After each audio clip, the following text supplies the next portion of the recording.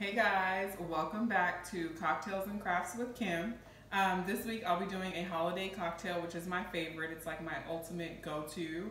Um, it's just eggnog and Jack Daniels Hennessy, or some people like to do brandy, but I actually like the Jack Daniels Honey um, Hennessy a lot. It's a lot smoother, especially from a woman um, perspective. It's really smooth.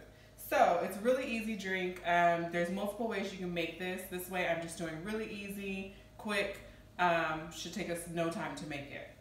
So I start off with one shot of Jack Daniels Hennessy.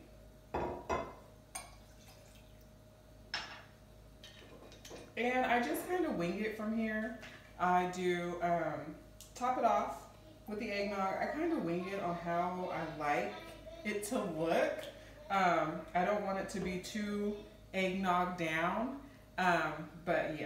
So this is the drink. It's really tasty. Um, another way you can make it, you can warm up the eggnog on the stove and then pour your Jack Daniels in it. Top it with a little bit of whipped cream and cinnamon. It's perfect for serving um, if you're like, you know, chilling in your backyard or anything like that. Hope you guys enjoyed and see, like and subscribe.